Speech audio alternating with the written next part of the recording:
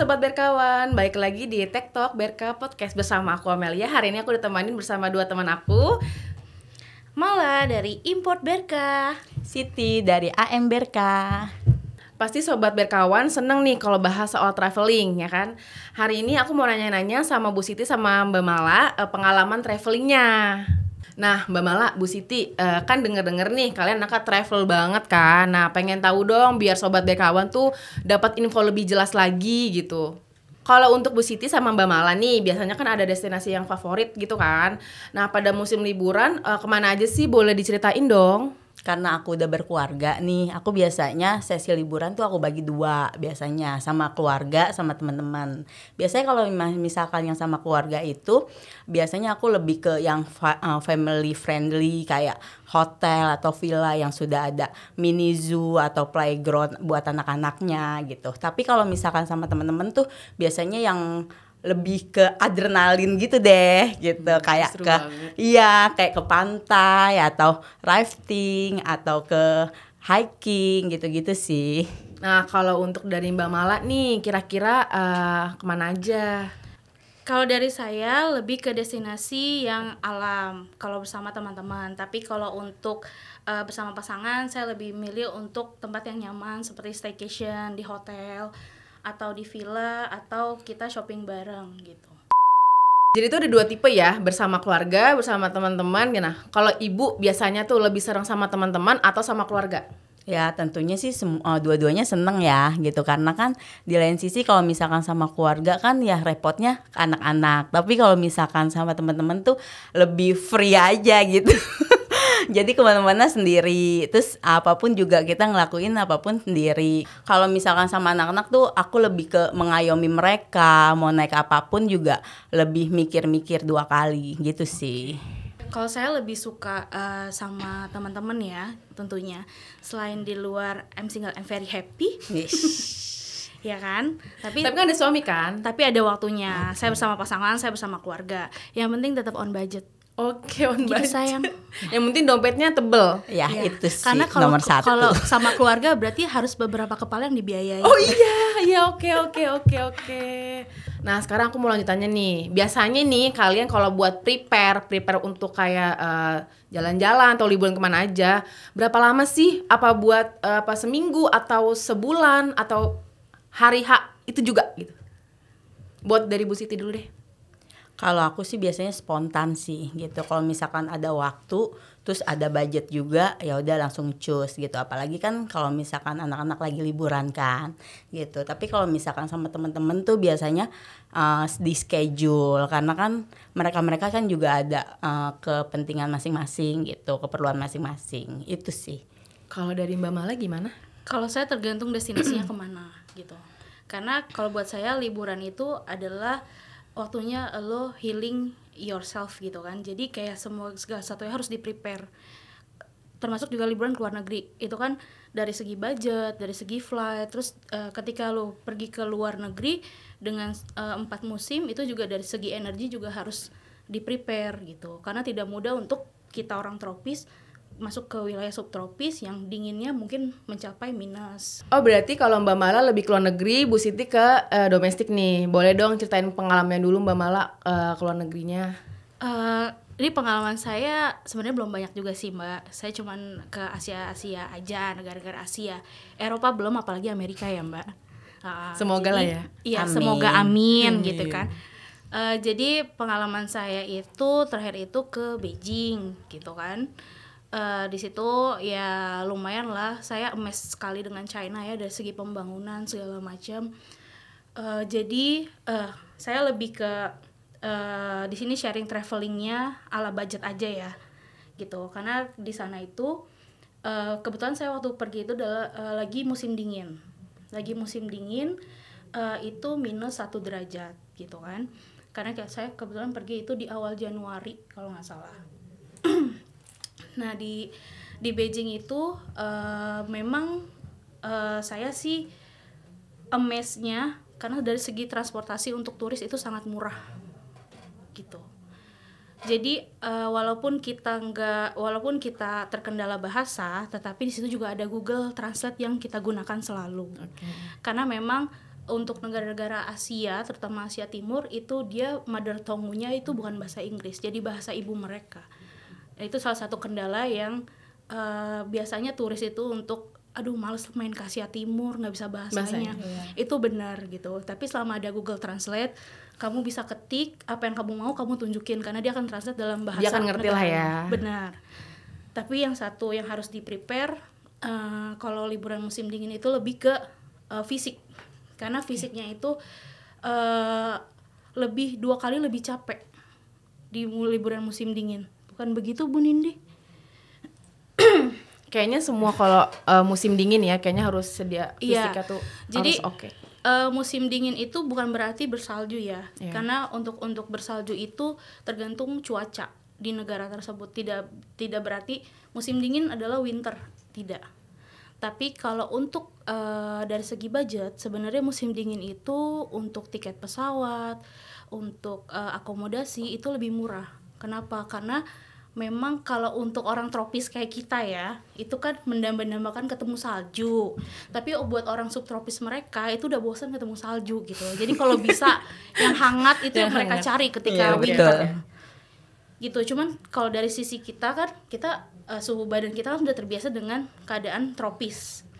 Jadi kalau misalnya kita ke sana itu kita uh, kenapa harus uh, persiapan fisik dua kali? Karena itu windy sekali uh, berangin. Dan beranginnya itu very cold gitu.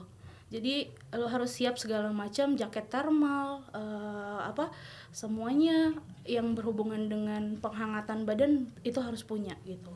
Karena selain itu uh, kalau bisa pakai baju berlapis-lapis. Yang pertama itu long john. Long john itu pakaian musim dingin untuk winter uh, di mana itu semuanya uh, penghangat buat tubuh anda ya pokoknya kayak kos kaki lah ya yang bisa menghangatkan badan bukan kos kaki doang kos kaki khusus kos kaki winter oke okay. Wah seru banget ya Mbak Mala berarti liburan ke luar negerinya nih. Nah coba dong Bu Siti yang lebih yang ke domestiknya nih pengalamannya apa aja sih ceritain dong ke sobat berkawan. Uh, ya kalau pengalaman sih ya lumayan banyak ya karena domestik tuh ya beruntung banget sih aku jadi AM di Berka karena aku bisa ke seluruh ya, Indonesia ya, gitu loh. Dari Sabang sampai Merauke sudah pernah gitu loh. Sampai lagi hamil juga ya? Iya sampai lagi hamil bener-bener naik pesawat dan ya hoki sih aku jadi ayam di Berkah gitu. Jadi aku ceritain uh, pengalaman terakhir aja ya, aku traveling gitu loh, aku staycation. Jadi tuh ceritanya aku pengen nyobain uh, si kereta cepat kemarin gitu. Terus aku ajak keluarga gitu kan, anak-anak, nyokap, suami gitu kan.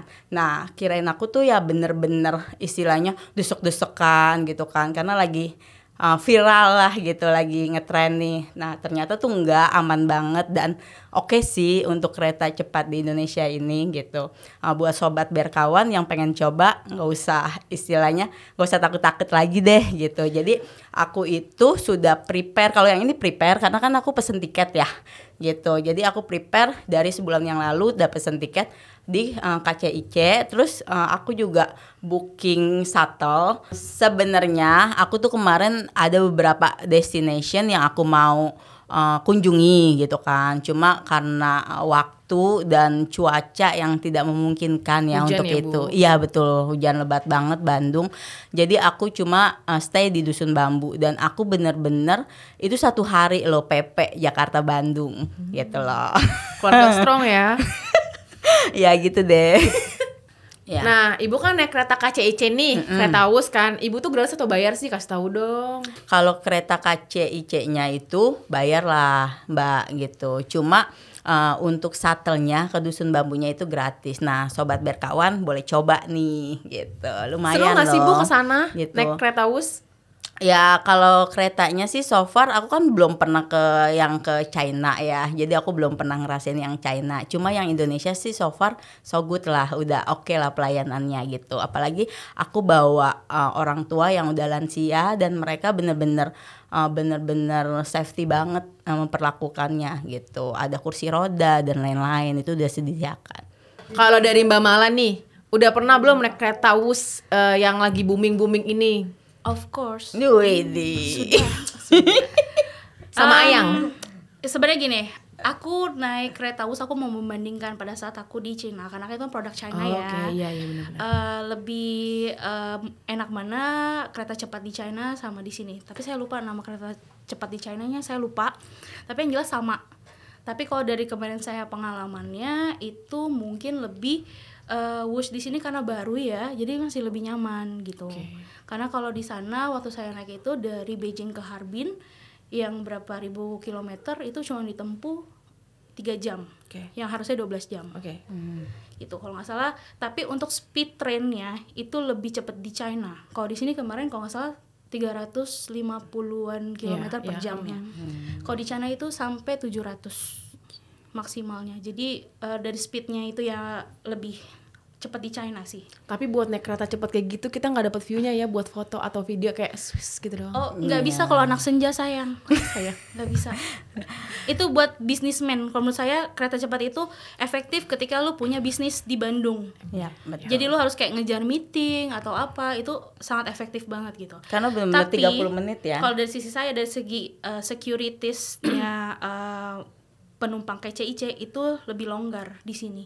Kenapa saya bilang securitiesnya tidak uh, tidak terlalu ketat di Indonesia? Karena modalnya adalah scan barcode. Oke. Berarti ketika seseorang tidak memiliki tidak bisa pergi atau tidak bisa ikut, dia bisa menggunakan barcode itu untuk dikasih ke orang lain. Ya, betul. Sedangkan sebenarnya dari sisi uh, kereta jarak jauh yang dikelola uh, kereta api Indonesia itu dari segi securitynya lebih baik karena harus sesuai dengan KTP. Ya, betul banget. Ketika di check in, counter check in, begitu pula pesawat karena memang standar dari Kementerian Perhubungannya memang seharusnya seperti itu gitu. Nah, saya tidak tahu nih dari segi KCIC apakah berdiri sendiri atau di under Kementerian Perhubungan. Tapi kalau untuk dari segi securitiesnya penumpangnya itu masih kurang menurut saya. Oke Bu Siti sama Mbak Mala kan di eranya lagi booming boomingnya ini kayak TikTok pasti kan ada dong yang kayak nge-share eh, tempat yang bagus, tem- eh, terus makan makanan kuliner kuliner. pernah nggak sih kalian tuh kayak pengen ah gue pengen datangin nih ke tempat ini nih, yuk cus gitu-gitu dari Mbak Mala dulu. Oh iya, itu pasti gitu. Kayak mungkin di eh, lima tahun enam tahun ke belakang itu yang namanya eh, di Singapura di Orchard Road itu sangat terkenal yang namanya es krim, es krim uncle. Oke. Jadi es potong itu itu destinasi wajib. Tapi memang kalau eh, kita destinasi ke luar negeri itu kan karena kita dari negara muslim ya. Itu yang namanya makanan juga rada-rada sulit untuk negara non muslim gitu kan. Itu tantangannya aja gitu. Nah, tipsnya saya saya bawa rendang dari Indonesia. Wajib Whatever ya. it is ya, kita Iya. tetap lidah Indonesia ya. Di Mie Malaysia goreng lah ya. pun yang namanya rendang, yang namanya eh, makanan Indonesia menurut saya rasanya nggak seautentik di Jakarta Iya. gitu. Betul. Ya kayak nasi uduk lah ya. Iya, Iya, betul jadi- betul. Harapan orang Indonesia. SOP-nya. Benar. Jadi SOP-nya nasi uduk. ya di Thailand pun juga kan mayoritas non Islam ya. Itu juga rada sulit untuk menemukan makanan halal di distrik-distrik tertentu. Kalau misalnya seperti di Bangkok mungkin banyak. Banyak. Tapi kalau seperti di Chiang Rai, Chiang Mai itu kan rada ke utara itu kan banyak kan mereka non muslim ya. Jadi untuk mendapatkan non muslim makanan halal itu kita harus tanya gitu. Mi mumai? itu bahasa Thailandnya. Oke. Ada babi nggak? Gitu. Oke. Iya, kalau destinasi viral em, sebenarnya seperti di Singapura kan yang ikonik itu paling Merlion, adanya di Marina Bay Sands. Itu memang semua isinya orang Indonesia yang foto. Ya, itu. Dan itu rame banget gitu kan. Jadi kalau misalnya destinasi viral otomatis itu di- apalagi turis luar negeri ya, pasti akan kayak take a picture di icon tersebut gitu. Oke. Jadi kayak di apa ya? Kayak misalnya kita ke ke Mekah, pasti kan foto Ka'bahnya Ka'bah. ya. Betul, Nah, itu sih sebenarnya wajar ya rame ya gitu. Tapi untuk so far eh, itu ada tips-tipsnya gimana caranya biar datang gak lagi orang rame gitu. Misalnya datang tengah malam, gitu atau pagi banget ya sebelum subuh udah berangkat gitu kayak gue sama anak-anak gue gitulah mau dagang telur. Mm, gitu Iya. Nah kalau misalnya dari Bu Siti nih tempat-tempat viral yang kayak di TikTok, makanan-makanan yang booming, udah pernah belum sih? Kalau denger-denger sih ya nih kayaknya Bu Siti tuh sering banget ya. Kalau makanan tuh enak sama enak banget, nggak ada nggak enaknya ya. Boleh dong. Kalau gue sih ya apa ya kalau aku tuh lebih ke sesuai tempatnya sih gitu. Worth it nggak nih? Aku tuh uh, lebih ke lihat dulu komen-komen mereka gitu. Kayak gimana sih gitu. Terus uh, kalau misalkan tempat-tempat viral gitu uh, cocok nggak nih gitu untuk ajak anak-anak lebih prepare ke situ terus aku tuh lebih istilahnya lihat ramenya tuh di jam berapa Karena jujur ya kalau ramai tuh kayak banget agak males ya. iya terus Ah, udah iya gitu kan desek-desekan gitu Iya, kan bener. dan nggak memungkinkan juga kita untuk foto juga ribet apalagi kalau misalkan makanan juga sampai waiting list itu aku paling nggak mau banget gitu jadi aku lebih lihat dulu komen-komen Set, set, set lah ya. Yap, betul. Bawa nasi warteg nggak? Bungkus. Itu sih. Nah kan banyak nih bu di TikTok ataupun Instagram yang viral-viral kayak makanan eh, blogger-blogger bilang ini enak banget tapi pas kita kunjungin tuh kayak zong kan biasa aja. Nah kalau menurut ibu tuh ada nggak sih beberapa yang emang bener-bener enak sama yang kayak menurut di lidah ibu tuh biasa aja karena yang saya tahu nih ya kayaknya ibu enak aja sama enak banget gitu ya nggak enaknya tuh pengen dong denger ada yang nggak enak gak sih Ada sih beberapa yang zong gitu, tapi ya nggak terlalu banyak juga gitu. Karena ya tadi aku bilang gitu, aku biasanya lihat dulu gitu kan, se worth it apa nih tempat buat aku kunjungi gitu. Aku mau minta tiga rekomendasi nih tempat destinasi yang on budget banget dari Mbak Mala sama Bu Siti. Eh, bisa ceritain? Kalau buat di luar negeri, saya lebih ke eh, Thailand untuk budget. Itu budgetnya masuk karena kursnya tidak terlalu tinggi. Kita sekitar jalan-jalan sekitar Bangkok aja tuh udah banyak sebenarnya destinasi wisata di sana kan. Terus yang kedua itu bisa dikatakan Singapura ya kalau untuk family karena dari segi akomodasi transportasi di sana itu menunjang banget. Even lo bawa stroller itu lo akan nyaman banget karena di sana transportasinya sangat baik gitu kan transportasi publiknya.